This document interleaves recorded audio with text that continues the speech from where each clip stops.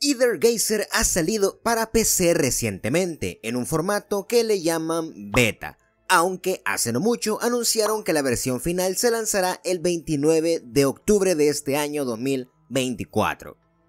Gracias a que muchos jugadores nuevos están llegando por esta versión PC del juego y que desde la última vez que hicimos un video para principiantes ha pasado ya más de un año, estamos aquí para explicar todo lo que tienes que saber para jugar Either Geyser, así que Comenzamos. Either Gazer es un ARPG o Action RPG, o sea un juego de acción en tiempo real similar a juegos normales como lo podrían ser Devil May Cry. En este juego nos encontramos en un mundo post-apocalíptico, pero como pocas veces se ha visto. La historia dice así. 200 años han pasado desde que el viejo mundo fue destruido por la calamidad. La humanidad sobreviviente usó nanotecnología para separar el alma del cuerpo y subir la conciencia a una red virtual llamada Gaia, permitiendo así la vida y continuidad de la civilización en un mundo virtual. Un mundo que recrea el mundo de la preguerra del año 2100. Hoy en día, las memorias de la era antigua y el origen del mundo han desaparecido, y la humanidad ahora vive bajo las reglas establecidas por el principio de Gaia Aún así, Gaia no está libre de peligro. Monstruos llamados Beastbane, los cuales nacieron de las capas de datos de Gaia, constantemente erosionan lo que la humanidad construyó para preservarse a sí misma, lo cual lleva a rupturas entre la fuente y las capas de la superficie, resultando en desastres llamados terremotos, o quakes en inglés, esto en el mundo virtual. Para lidiar con estos enemigos, el programa de autoevaluación de Gaia evolucionó hacia entidades humanas capaces de entrar directamente en los planos afectados para intervenir. Estas son personificaciones de deidades, o como el programa la llamó, se les conoce como modificadores o modifiers en inglés. Luego del contexto de la historia, ahora sí, adentrémonos al contenido del juego. Los personajes de este juego ya dijimos que son personificaciones de deidades, por ello en este juego tenemos diferentes clases que hacen referencia a panteones de diferentes culturas. Tenemos a la mitología japonesa que se llama Shinnou, la mitología china que se llama Tianyuan, la mitología nórdica llamada Yggdrasil, la egipcia llamada Nile, la griega llamada Olympus, y una combinación de diferentes mitologías como la hindú, sumeria y o judeocristiana, entre otras, llamada Asterism. En el juego podemos llevar hasta un total de 3 personajes, así que si llevamos a 2 o 3 personajes de una misma clase, estaremos activando diferentes bonificaciones para algo llamado Modify Mode, el cual es un modo que funciona contra enemigos grandes o bosses, ya que solo estos tienen una barra de resistencia la cual podemos romper y gracias a romper esto, entramos en este modo especial.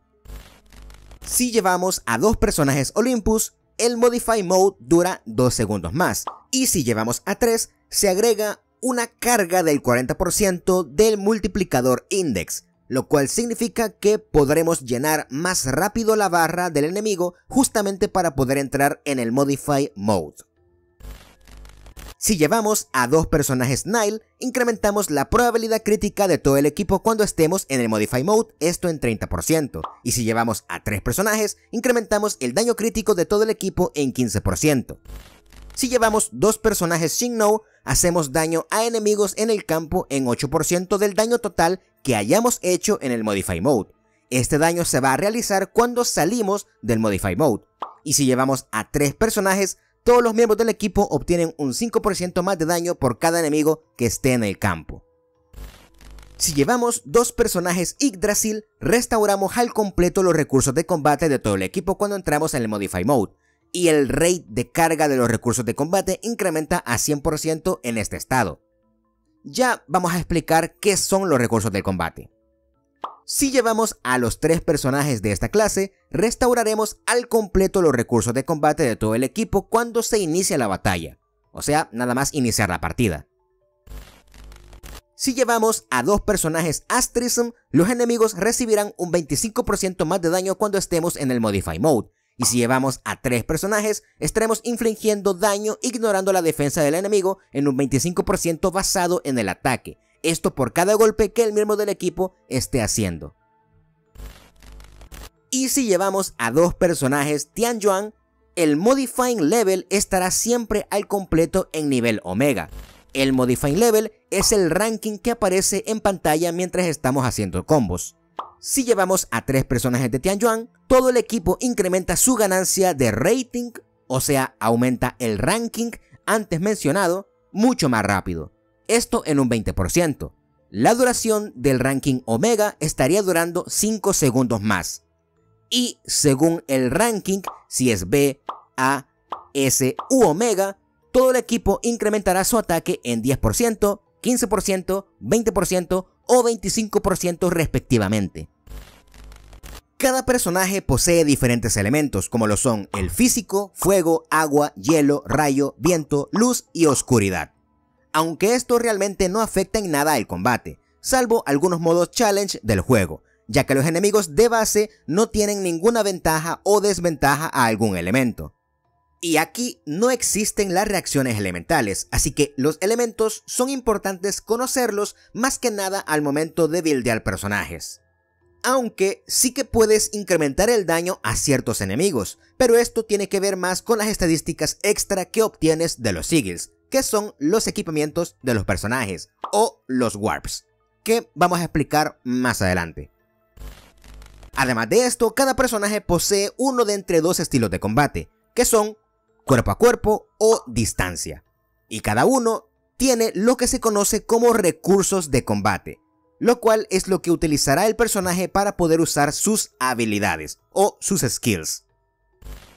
Entre estos recursos tenemos el Rage, el cual se regenera al golpear enemigos, y sus habilidades consumen una porción de este recurso. El recurso Energy se regenera de forma automática cada cierto tiempo, y las skills también consumen una parte de estos recursos. Los traces son los únicos que son diferentes visualmente, siendo prácticamente unas esferitas, las cuales se gastan poco a poco según las skills requieran. El Divine Grace se regenera al golpear enemigos o usar skills, y normalmente algunas de las skills consumen todo lo que haya de este recurso o puede que no gaste nada, pero la barra es parte de alguna habilidad del personaje, como por ejemplo mantener presionado el ataque o usar el ultimate. Aquí realmente este recurso de combate va a variar según el personaje. Cada personaje tiene un nivel máximo de 100, aunque para eso hay que subir primero a nivel 80, porque desde aquí ya se está utilizando un nuevo ítem que acaban de agregarlo, el cual explicaré en un momento. Cada personaje posee un ataque básico, 3 skills, una forma de esquivar y un ultimate, y cada uno de estos varía según el personaje obviamente, incluso el mismo esquive, como que le haga entrar o no en un tiempo ralentizado o se active algún efecto especial del personaje. Además de las skills normales, que podemos subir con un material que farmeamos en el Factor Collection, tenemos otro apartado donde mejoramos las estadísticas de cada una de estas habilidades, con materiales que son de los diferentes elementos de los personajes. Esto se farmea en un modo llamado Iterative Testing, el cual es un modo de voces que tienen debilidades elementales. Pero esto ya tiene que ver realmente con el late game, así que por ahora no se preocupen demasiado por esto, pero es aquí donde van a conseguir el material para estas skills, hablando de los ítems que son según el elemento, y también el material para poder subir a más de nivel 80 a sus personajes y poder llevarlos al nivel 100. Luego de todo esto tenemos el arma del personaje que se llama Access Key, el cual ya viene por defecto junto al personaje, y podemos subir hasta un nivel 60 máximo. Lo que sí podemos conseguir en el gacha es el potenciador del arma, al cual se le conoce como Functor. Este no sube de nivel, solo simplemente puede incrementar sus estadísticas según las copias que tengamos de este Functor, pero nivel como tal no tiene, solamente el arma. Y realmente no es algo complicado de conseguir, pero no nos adelantemos, lo explicaremos en el gacha del juego. Los equipamientos se llaman sigils, los cuales pueden farmear en el apartado que dice justamente sigils y luego en Battle Sweep. Aquí puedes elegir el cual quieres tú farmear. aunque no están todos, ya que cada nueva versión viene un set nuevo el cual consigues en el evento y no en este apartado.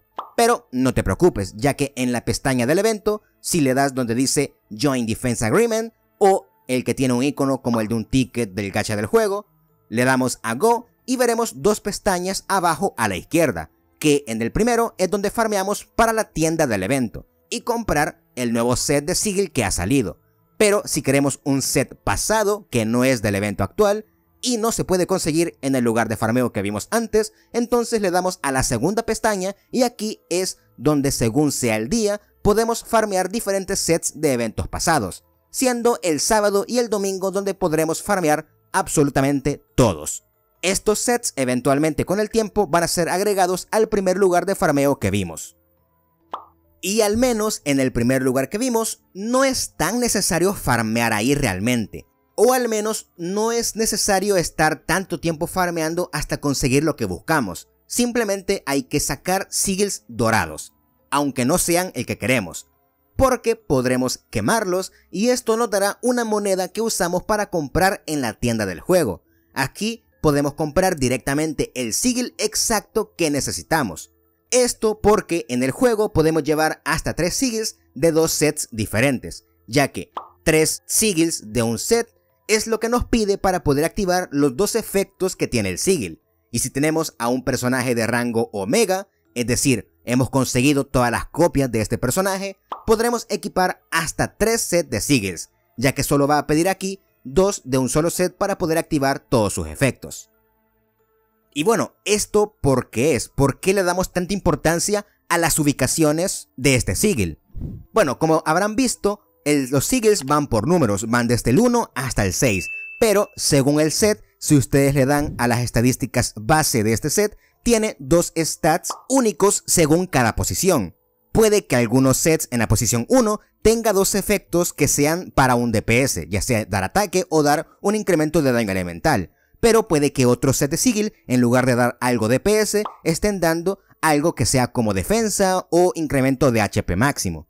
Por eso es que hay que fijarse qué posición de cada set nos da los efectos de DPS. Por eso es que importa en qué posición farmeamos o colocamos los sets. Así que si ustedes quieren saber qué set poner a un personaje o dónde colocarlo, tienen que darle al apartado donde podemos ver lo que la gente más está utilizando y aquí pueden ver justamente las posiciones del mismo set. Normalmente el set nuevo que va saliendo se coloca en posiciones 1, 3 y 5 porque aquí es donde se encuentran los efectos de DPS, mientras que el set secundario que tenemos que farmear, que no es el nuevo, lo solemos colocar en posiciones 2, 4 y 6. Igualmente en la descripción de este video les estaré colocando un link para que vayan a ver una tier list china de la versión actual del juego en China, porque aquí, además de darnos un tier de los mejores personajes, también nos dice el set de sigil que está utilizando, o también los Aether Code que se le colocan al personaje, que es algo que vamos a mencionar más adelante.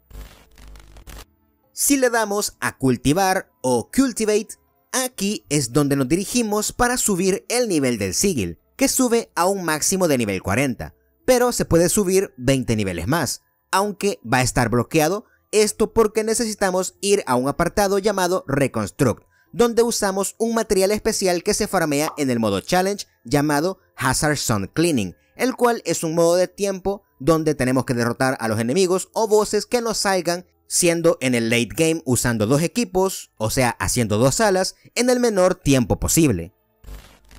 Volviendo al tema de Reconstruct, aquí tenemos dos opciones. El Ganson, que significa bloquear el sigil a una clase en específico, por lo cual si el personaje es de esa clase en específico, estaremos incrementando un 20% los stats del mismo sigil. Y luego tenemos el Clarifying, que es un modo mucho mejor, ya que el sigil se va a bloquear de forma exclusiva para el personaje que lo estará usando. Y así los stats, en lugar de ser un 20%, incrementan un 40% sus efectos. Además de que con esto es que ya podremos seguir subiendo el nivel del sigil hasta un máximo de nivel 60. Luego tenemos otro apartado, pero este realmente no es importante porque este otro apartado es solamente para que podamos cambiar de set de sigils a un set diferente, pero sin necesidad de farmear ese otro set y tener que subir todo lo que hemos subido. Prácticamente es solamente cambiar de un set a otro, pero manteniendo los efectos que ya tenemos. Esto únicamente importa si quieren cambiar el set de un personaje, ya sea porque es un personaje que farmearon antiguamente y quieren farmear o colocarle el nuevo set que haya salido. Pero esto realmente no es importante para los que van empezando. Fuera de esto, para seguir mejorando a nuestro personaje gracias a los sigils, cada sigil puede tener hasta 4 stats aleatorios, llamados Encant, los cuales usan unos tickets que se farmean en el apartado de sigil y luego yendo al apartado Joint Training. Aquí tenemos estos chips o tickets que son de color azul, morado o amarillo. Los primeros dos solo nos dan un stat, mientras que el dorado nos dará dos stats, de una sola vez. Por ello recomiendo solo usar los dorados, y los otros dos mejor quémelos para crear los dorados. Si uno de los dos stats que buscamos no nos gusta o quizás no nos sirve, entonces podemos bloquear el que sí queremos que se mantenga y seguir buscando un segundo mejor stat, aunque esto hará que en lugar de solo gastar un ticket, estaremos gastando 5. Cada uno de los stats tienen un nivel máximo que podemos conseguir, por ejemplo, si buscamos un efecto de ataque, el nivel máximo será de 8. Así que hay que fijarnos que tengamos solo 8 de este efecto y no más. Porque no nos va a servir de nada tener más ya que no se van a activar los efectos extra. Y estaremos perdiendo slots que podemos aprovechar para otro stat. De esto podemos darnos cuenta si el set dice 8 de 8, o el stat más bien dicho, o vemos que dice 9 de 8. Si vemos esto último, entonces nos estaremos dando cuenta de que estamos desperdiciando un slot. Igualmente, esto depende del efecto, ya que hay algunos efectos que solamente tienen un límite de 4 por poner un ejemplo. Luego tenemos los Warps, los cuales son para mejorar habilidades de nuestros personajes en cuanto a estadísticas. Este apartado es similar a los Sigils como pueden ver al menos visualmente, pero aquí realmente no es de farmear ningún set, ya que lo único que vamos a farmear son unos cristales que conseguimos en el mismo Hazard Zone Cleaning, que usamos nosotros mismos para elegir los stats que queremos ponerle a nuestro personaje. Según cada posición de los warps, podemos elegir hasta dos efectos. Lo que vayas a elegir normalmente será algo para mejorar el daño o efecto de las skills de tu personaje, como reducir su tiempo de espera de skills, mejorar el nivel de las skills, mejorar el daño base, mejorar el daño de ultimate, ya sea si se va a usar el personaje solo o con alguna pareja, o demás cositas como darle defensa, daño contra ciertos enemigos, etc. De hecho, los primeros dos efectos, o bueno, los primeros dos warps tienen que ver con la primera habilidad y el ataque base. Los warps 3 y 4 tienen que ver con la segunda skill. Y los warps que son 5 y 6 tienen que ver con la tercera skill y el ultimate del personaje. O sea, son los efectos que les va a aparecer a ustedes para que puedan mejorar. Ustedes solo busquen cosas que den daño en general y listo. O sea, no daños específicos a X enemigos o algo así. Si te está gustando este video, agradecería que te suscribas ya que el 51.2% de las personas que ven mi contenido no está suscrita. Si te suscribes, en la siguiente tirada que hagas saldrá tu waifu o usbando preferido. O no, también puede ser el caso. Luego tenemos el apartado de los codes, o también conocidos como Ether Codes. En este apartado tenemos más habilidades de personajes o efectos extra que podemos colocar según nuestra preferencia activando hasta un total de 3 de estos puntos, los cuales van en grupo de 3 en 3 y de diferentes colores, los cuales son rojo, amarillo o azul. Podemos activar variado como 3 de un solo color o 1 de cada color, incluso pudiendo activar uno de un solo color y dos del otro. Aquí ya va a variar según lo que busquen hacer ustedes con su personaje, ya que un color completo puede ir para activar algunos efectos para DPS, otro color puede ser para support, otro color puede ser para sub DPS, etc. Esto ya es variable y no se puede explicar en un solo video porque depende del personaje. Personajes los cuales ya tengo algunos videos en el canal hablando de sus habilidades, los header codes y sus builds. Pero si les interesa, trataré de traer más de los nuevos personajes y actualizar algunos antiguos. aunque yo realmente no soy de builds o metagame, así que no esperen que lo traiga tan pronto. Por ello, estoy creando un Excel únicamente para traducir todo sobre cada personaje, pero eso sería nada más eso, traducir para que ustedes lean por su propia cuenta. Y bueno, no tanto traducir, sino más bien reinterpretar, ya que el propio juego, o los juegos gacha en general, confunden a veces más, incluso aunque estén en español. Lo que sí podemos explicar en este video es cómo desbloquear estos códigos, ya que normalmente los encontrarán la mayoría bloqueados.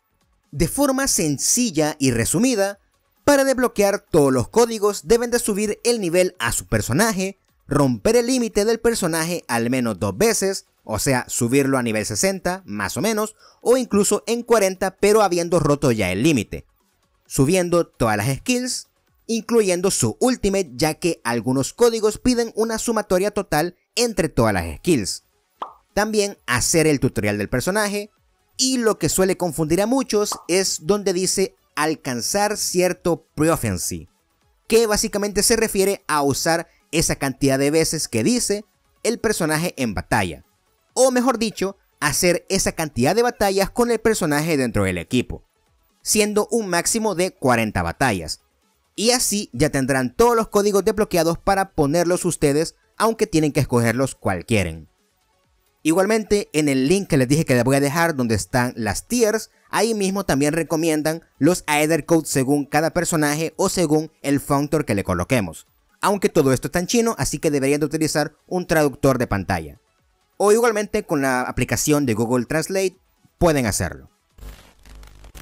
Luego tenemos el apartado de chips, pero esto no es del todo importante, ya que esto únicamente es para personajes que ustedes no van a usar, ya que en Either Gazer formamos equipos de tres personajes, pero solamente usamos a uno, el cual es el que nosotros ponemos en medio y los otros dos se usan automáticamente. Así que los chips sirven para darles instrucciones únicas a estos personajes que no usaremos, como que ataquen al enemigo que nosotros estamos atacando, que ataquen al enemigo que está cerca de nosotros, no necesariamente al que estamos atacando, o que se enfoquen en enemigos grandes.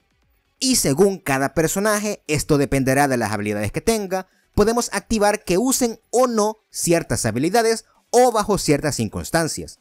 Aunque no todos los personajes tienen esto. La mayoría solamente tiene lo primero que mencionamos, que es enfocarse en ciertos enemigos. Pero sí que hay algunos que tienen muchos más chips, como que solo spameen una cierta habilidad o lo que dijimos antes, que activen o no algunas habilidades bajo ciertas circunstancias. Esto igualmente no se puede explicar aquí ya que varía entre cada personaje, pero será de mucha ayuda para ustedes en el Excel que voy a hacer. Así que agradecería que compartan este video, dejen like y comenten algo para que el algoritmo de YouTube comparta todavía más el video. Y así me animo a terminar ese Excel, el cual lo haré con ayuda, ya que yo solo no lo terminaría nunca. Otra cosa a tomar en cuenta sobre los personajes es que algunos personajes que ya son antiguos están recibiendo o ya tienen mejoras en el juego, mejoras que tienen que farmear para desbloquearlas o subirlas de nivel, donde consigues un ticket en el apartado de Dimensional Variable, que es su modo challenge, donde avanzas en salas y obtienes algunos buffs para seguir avanzando, pues aquí obtenemos este ticket especial para comprar algunos buffs o fragmentos para poder mejorar al personaje que queremos mejorar, vaga la redundancia. Y luego usamos otros materiales como uno que es un maletín que se consigue en las tiendas de todos los eventos.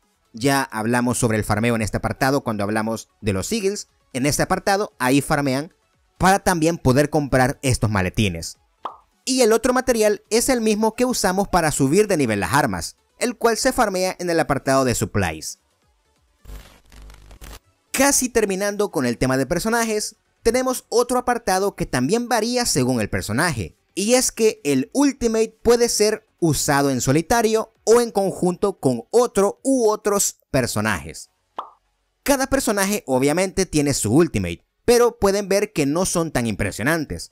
Lo impresionante viene cuando usamos Ultimates conjuntos, es decir, en pareja o grupos, que de grupos solamente son dos los iniciales que ustedes posiblemente ya vieron, y el equipo de Tsukuyomi Rango S, Busenbu Rango S y Kotachi. Son los únicos grupos Ultimate que tenemos. de ahí la mayoría son en pareja. Y bueno, esto no es solamente algo visual, sino que también aporta beneficios extra. Algunos personajes tienen más de una pareja, y esto realmente es importante a la hora de formar equipos. Primero, porque puede que sean de la misma clase, o sea, podemos activar los efectos de clase, o puede que las habilidades que tienen ambos personajes se complementan perfectamente bien, o por el efecto extra que puedan dar ambos personajes. Como por ejemplo tenemos a Kuninoto Kotachi o Kotachi a secas, que puede reducir la resistencia a algunos elementos, pero si llevamos a este personaje junto con Bastet, que es de elemento sombra, cosa que Kotachi no es y no puede reducirla, pero estando juntas, tienen un Ultimate conjunto donde ahora sí, Kotachi reduce la resistencia a este elemento sombra cuando lanzan juntas su Ultimate. Pero lo dicho, algunos personajes tienen diferentes parejas, así como otros personajes que solamente tienen una pareja, por el momento, ya que con el tiempo les van habilitando más parejas, ya sea por la llegada de nuevos personajes o simplemente usan personajes antiguos pero que ahora ya son pareja. Y esto es algo determinante para el equipo que quieras formar, ya que siempre tiene que incluir una pareja y luego un personaje extra que puede ser algún support. Como muchos recién estarán iniciando, pueden llevar a Busenbu Tengu, que la tendrán como una rango A, y como pareja pueden llevar a Kotachi precisamente, ya que Kotachi se puede conseguir gratis en la tienda del modo challenge llamado Recurring Dream, el cual es un modo de voces que tienen debilidades elementales, donde aquí sí que importa el elemento, donde puedes hacer si quieres dos o tres de estos voces con todo al máximo, es decir, con dos o tres equipos diferentes, pero esto ya tiene que ver con el late game. Para mientras, haz lo que puedas. Y por si se preguntan, no, solamente pueden comprar una copia de Kotachi, no pueden comprar varias. Volviendo al equipo del que estábamos hablando, Busenbu será tu DPS y puedes llevar a Poseidon rango A, ya que ambas son personajes bastante fáciles de conseguir. Busenbu es del gacha, pero es una rango A, así que es sencillo sacarla, y Poseidon la regalan de por sí en el juego. Por ahora solo céntrate en lo que mencioné, llevar la pareja de algún personaje, así que fíjate en los personajes que tienes, quiénes son sus parejas, y que por cierto en pantalla estarás viendo dónde se ven las parejas, y luego revisa si tienes a esa pareja. Así subes a estos dos personajes y te llevas a alguien extra, como justamente Poseidon Rangua, para que te cure y ayude en combate. En el caso de que quieras saber, las mejores support del juego actualmente son Ling Wang, que es la top support, y en segundo lugar estaría Era rango S. Y luego tenemos a las mejores DPS como Izanami, que ahora mismo, antes de la nueva actualización, es la mejor DPS del juego. Pero la siguiente en venir, llamada Tot, quien ya fue anunciada para global, se convertirá en la mejor DPS del juego hasta la fecha. Avisar que ahora mismo que subo este video, anunciaron que tendremos selector de personaje y banner selector de personaje, cosas que voy a explicar en el canal cuando salga la actualización, así que pendiente del canal. Ahora sí, terminando con los personajes, tenemos un último equipamiento, pero que no es para un personaje en concreto, sino más bien para todo el equipo. Esto se llama Mimir, o en el server de China se les conocía como Meows estos gatos nos dan efectos a todo el equipo en batalla. O bueno, la mayoría son para dos personajes que no usaremos o algunos sí que nos va a ayudar a nuestro personaje principal.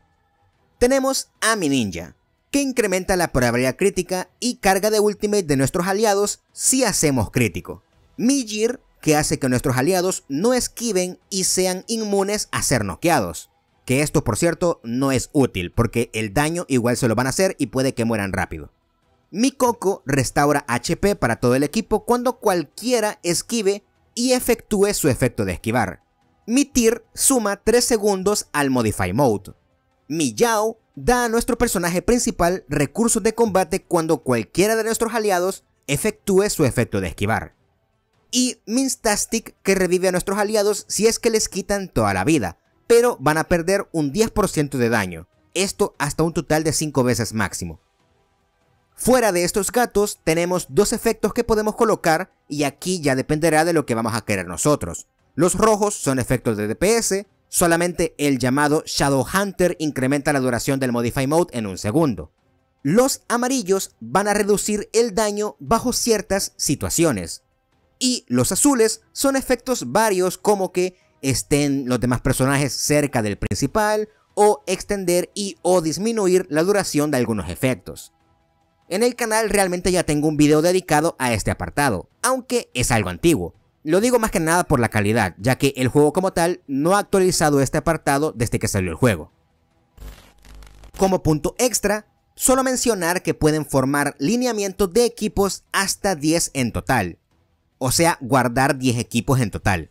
Para poder guardarlos solo tienes que darle a Team Line Up antes de iniciar un combate y una vez hecho esto seleccionar o cambiar personajes y una vez realicen su equipo le darán a Save para guardar al equipo y ponerle un nombre a este equipo si es que no tenía. Y ya luego le dan a Use para poder usar el equipo.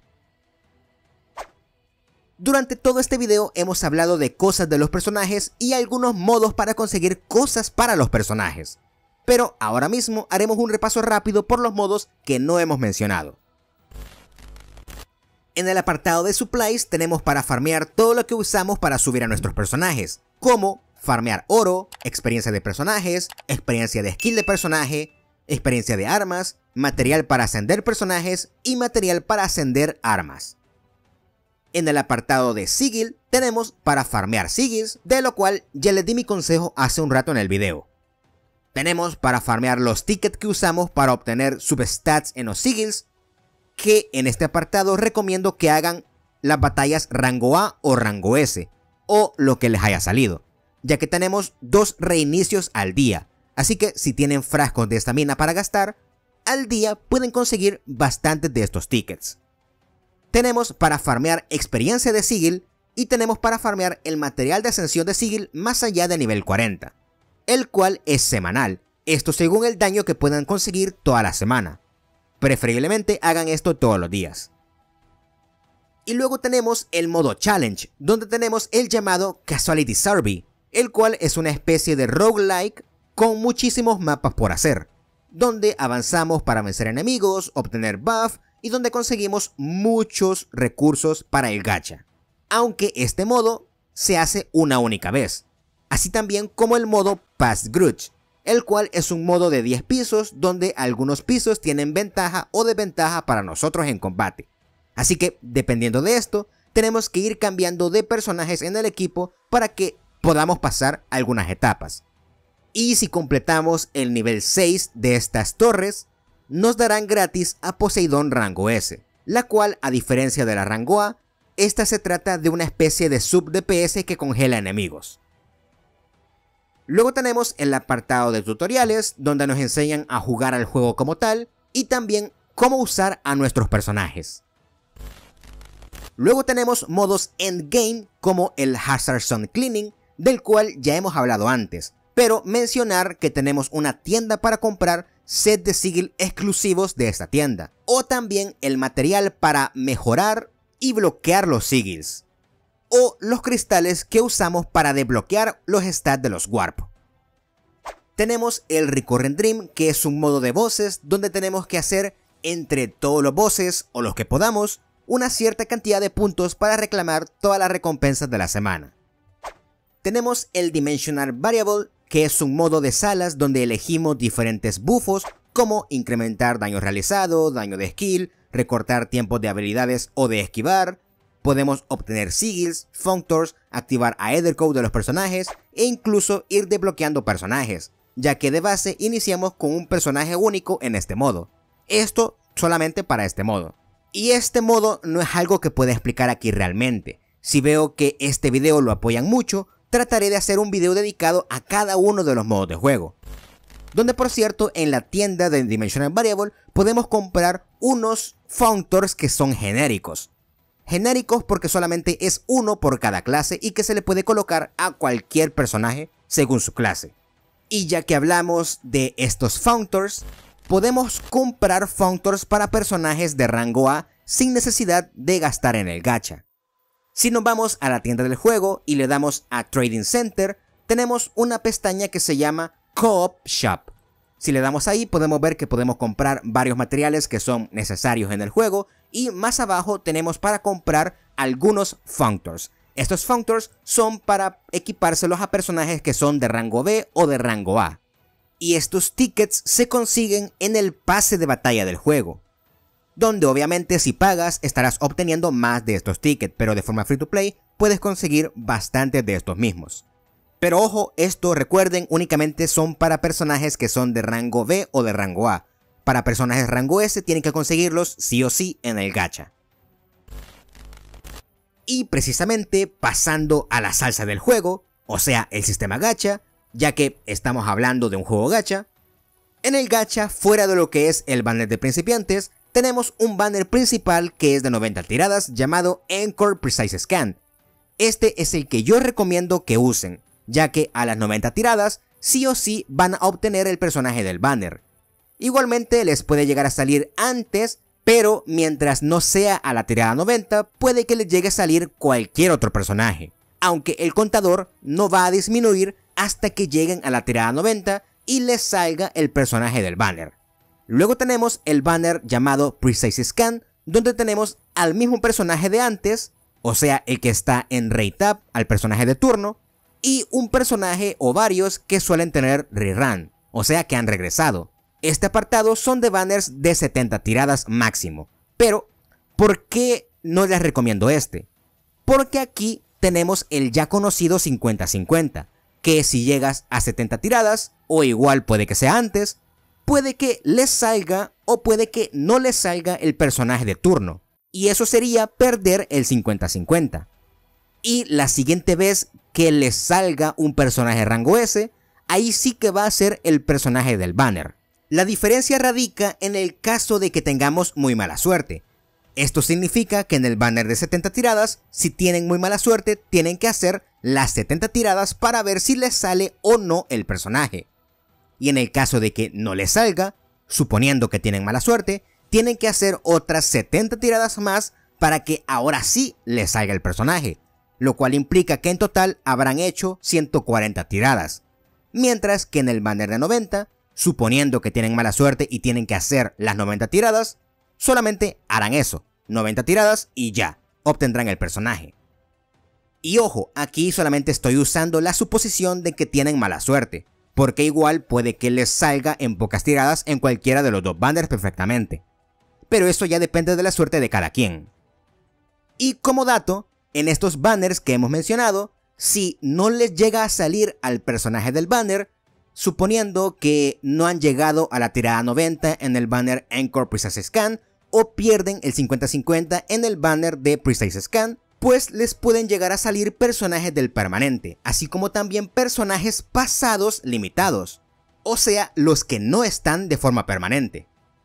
Aunque bueno, con esto prácticamente todos los personajes son permanentes, pero ya veremos por qué no son realmente permanentes. Ya que si pasamos al banner llamado Regular Scan, que es el banner permanente, aquí solamente hay personajes permanentes y no les pueden salir personajes limitados si pierden el 50-50, ya que en este banner solamente es de 50-50, o sea 70 tiradas. Pero en cada versión tenemos para seleccionar a uno de entre tres personajes del banner permanente para que podamos tratar de conseguir. Y algunos personajes que eran limitados, con el tiempo los van agregando de forma permanente, por lo cual es más probable que haya rerun de este personaje que tú esperas. Y luego tenemos el banner de Functors, donde solamente tiramos por una cosa, y esa cosa nosotros la seleccionamos, ya que pueden ver que tenemos a una loli por cada clase de los personajes. Según la clase que buscamos, seleccionamos esa clase, tiramos en el gacha y lo único rango S que les va a salir es esa loli que han seleccionado. Así que es totalmente asegurado. Y luego, ¿cómo conseguimos el functor del personaje que queremos? Pues bueno, le damos a Awake Form, vamos a la clase que sacamos y podemos aquí buscar el functor que nosotros queramos, ya que los functor, incluso 7 personajes que salieron hace poco, pero no tienen banner, pues no importa, porque los functors se mantienen de forma permanente. Así que no se tienen que preocupar de sacar el functor del personaje que recién ha salido a la de ya, sino que Si ustedes no tienen muchos recursos, pueden simplemente sacar al personaje y ya más adelante, cuando tengan más tiradas, aunque el personaje se haya ido, pueden conseguir su Functor cuando ustedes quieran. O también puede darse el caso de guardar a estas lolis según su clase y usarlas cuando salga un personaje nuevo que están esperando. Como por ejemplo el personaje que viene este 29 de octubre del 2024, que es Todd, que ya he mencionado que es la nueva mejor DPS del juego, pues ella es de clase Nile, por lo que ahora mismo puedo tratar de sacar a la Loli de Nile, sacarla y guardarla cuando venga Todd, y así, una vez haya salido el personaje, canjeo su Functor. Y bien, por último, hacer mención que tenemos una guild en Gazer, el cual se llama Warmy, cuya ID es 131124. Solo díganme cuando ya hayan enviado una solicitud y me dejan su nombre para aceptarles, ya que todavía tenemos espacio. De vez en cuando solemos tener raids de gremio por eventos o igual a la semana solemos tener batallas contra voces, ya que ganamos una moneda para gastar en una tienda de esta guild donde compramos materiales. Si quieren saber qué contenido diario hacer o cómo hacer para tener muchos recursos, con el tiempo simplemente hagan sus diarias con normalidad. Y es prácticamente gastar por lo menos 300 de estamina, lo cual recomiendo que gasten farmeando una elección o sección específica más que nada a la semana de un día oro, un día experiencia de personaje, otro día experiencia de arma, otro día materiales de ascensión, etc y otra parte de esos 300 de estamina, gástenlos en los tickets de stat para los Eagles. De esa forma hacen las diarias de forma muy fácil y si hacen esto todos los días, junto también con hacer el modo endgame y el material para ascender a más de nivel 40 a los Eagles, que por cierto este no gasta estamina, pues podrán acabar las misiones semanales tranquilamente solamente haciendo esto.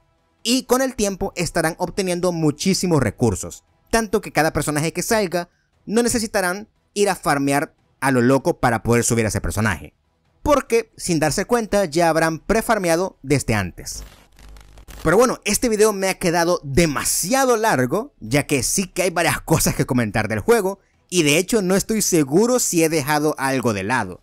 Pero bueno, igual recuerda que si quieres que ahonde más a profundidad en algunos modos de juego, apoya este video dejando tu like y comentando para el algoritmo. Y si puedes compartir el video, mucho mejor. Así me animo a traer más contenido.